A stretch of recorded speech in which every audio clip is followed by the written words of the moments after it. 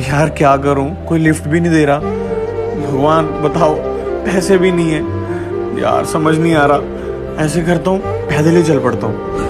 बहुत थक गया हूँ यहाँ बैठ जाता हूँ। अरे क्यों परेशान हो भाई? अरे भाई क्या बताऊँ यार? आज इंटरव्यू पे जाना है और मेरे पास पैसे भी नहीं है। और अगर आज मैं इंटरव्यू पे ना गया ना तो मेरी जॉब भी नहीं लगेगी। मैं तुम्हारी कुछ ज़्यादा मदद तो नहीं कर सकता। पर ये कुछ पैसे हैं? ये रख लो शायद तुम्हारे कुछ काम हो जाए। नहीं भाई साहब अरे रख लो ज़्यादा नहीं है।